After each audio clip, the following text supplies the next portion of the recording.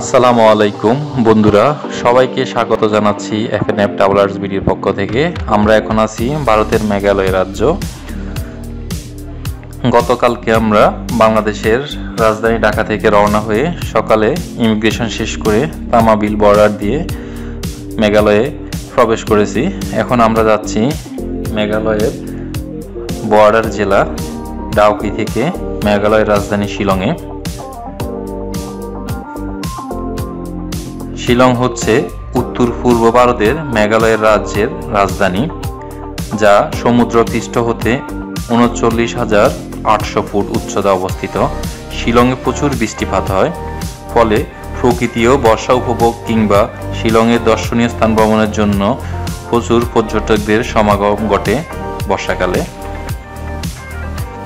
তো বন্ধুরা, আমরা ডাউকি থেকে মেঘালয় যাওয়ার সময় শিলং যাওয়ার পথে কিছু পর্যটন স্পট পূর্বে দেখেছি, আপনাদেরকে দেখাইছিলাম। তার মধ্যে উল্লেখযোগ্য ছিল উমগড নদী, Umngot bridge Borhill waterfall, living root bridge.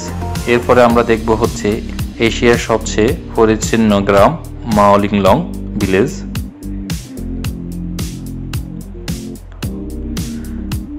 আপনারা যারা বাংলাদেশ থেকে বা ভারতের বিভিন্ন রাজ্য থেকে শিলং ঘুরতে আসবেন, অবশ্যই বর্ষাকালে শিডিউল করবেন। শিলং ঘুরার আদর্শ সময় হচ্ছে বর্ষাকাল। বর্ষাকালে শিলংয়ের পাহাড়গুলো সবুজে ভরে যায় এবং তার রূপ এবং যৌবন বর্ষাকালে পূর্ণতা পায়।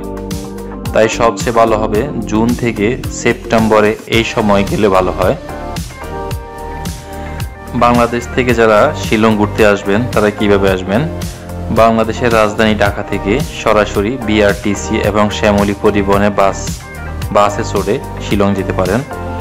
তবে প্রতি বৃহস্পতিবার রাতে ঢাকা থেকে শিলংয়ের উদ্দেশ্যে ছেড়ে যায় শ্যামলী পরিবহনের বাস। বিস্তারিত তথ্যের জন্য যোগাযোগ করতে পারেন শ্যামলী পরিবহনের কমলাপুর আন্তর্জাতিক টার্মিনালে।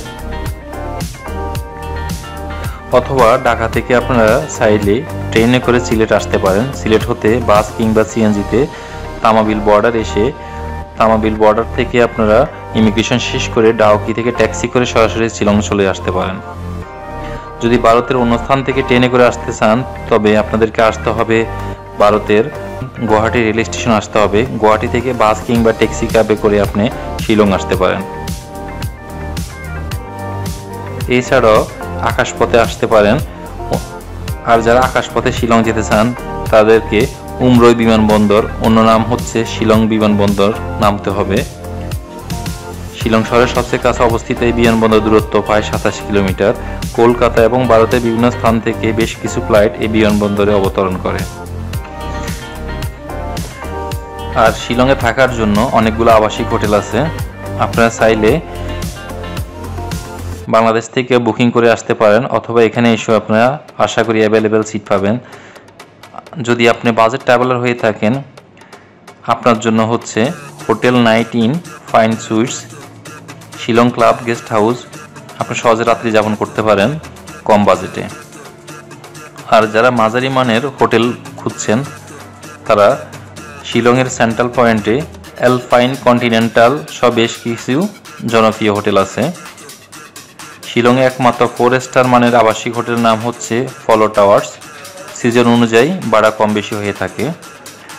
আশা করি বারোশো থেকে চার হাজার রুপি বাড়ার মধ্যে আপনারা হোটেল পেয়ে যাবেন। আর শিলং আসলে কোথায় খাবেন? শিলংয়ে প্রচুর খাবার হোটেল এবং রেস্টুরেন্ট রয়েছে। এখানের হোটেলগুলোতে শুকরের মাংস অ্যাভেলেবেল। তো যারা হালাল হারাম বেছে খান, তারা অবশ্যই দেখে শুনে খাবেন। চিকেন এবং মাছ মাংস পাওয়া যায়।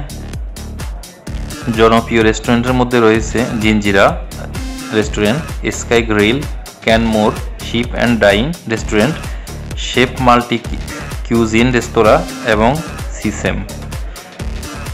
আর কেনাকাটা করতে চাইলে শিলংয়ে অনেক জায়গা আছে কেনাকাটার জন্য। সেন্ট্রাল পয়েন্টে অনেক দোকান আছে। এখানে দারুচিনি, মধু, কমলা উল্লেখযোগ্য সস্তায় পাবেন।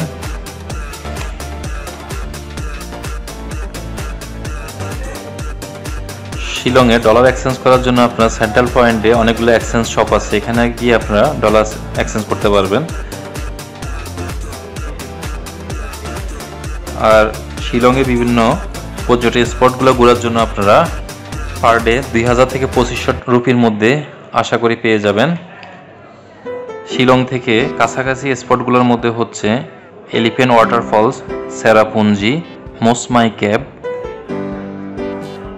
all saint church Laitlum canyon Wards lake golf link Shillong park বা শিলং ভিউ পয়েন্ট এবং উমিয়াম লেক উল্লেখযোগ্য। এই স্থানগুলো দেখার জন্য আপনাদের দুই দিন সময় লাগতে পারে। দুই দিনের জন্য আপনারা ট্যাক্সি ক্যাব পার ডে দুই থেকে আড়াই হাজার রুপির মধ্যে পেয়ে যাবেন আশা করি। তো বন্ধুরা, আজকে পর্যন্ত আগামী পর্বে দেখা হবে শিলংয়ের অন্য কোনো স্থানে, অন্য কোনো জায়গায়। সে পর্যন্ত ভালো থাকুন, সুস্থ থাকুন, সুন্দর থাকুন। আল্লাহ হাফেজ। আসসালামু আলাইকুম।